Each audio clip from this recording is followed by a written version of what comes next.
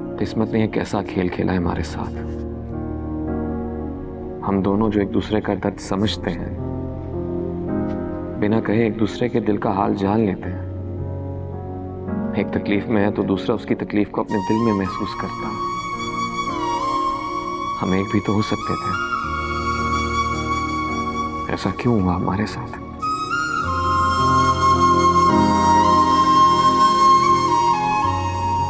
सूरज के साथ मेरा दिल भी डूब रहा है। काश मैं तुम्हारे लिए कुछ कर सकता। तुम्हारे आँसू चुन सकता।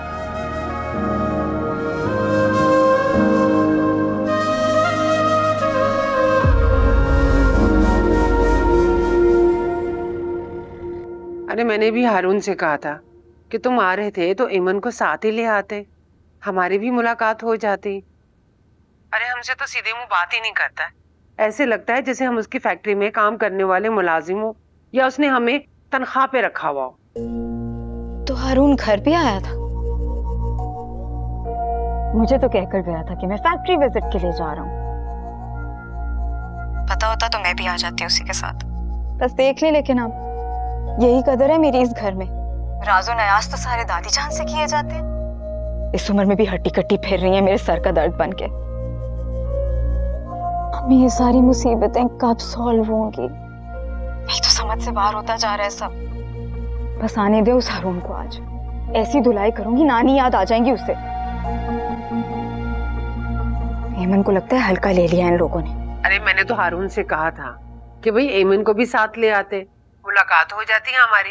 कहने लगा कि भाई घर में गाड़ी खड़ी है। जब दिल चाहेगा वो आ जाएगी। बस देख ले अम्मी इसी तरह इग्नोर किया हुआ है मुझे। ना कभी शॉपिंग पर लेकर जाता है ना कभी खाना खिलाने लेकर जाता है। घर बिठाया हुआ है मुझे। तो तुमने कहना था ना भाई तुम कोई गिरी पड़ी लड़की नहीं हो माशाल्लाह से तुम्हारा भाई भी बहुत अच्छा कारोबार कर रहा है। और तुम देखना एक वक्त में हारून की टक्कर पर बिजनेसमैन बन जाएगा वो। जी अम्मी आप टेंशन ना लें। आ जाएँगे ना खूब सुनाऊँगी उन्हें। अच्छा चलो बेटा अपना ख्याल रखना। जी अम्मी आप भी। अल्लाह हाफिज। खुदा हाफिज।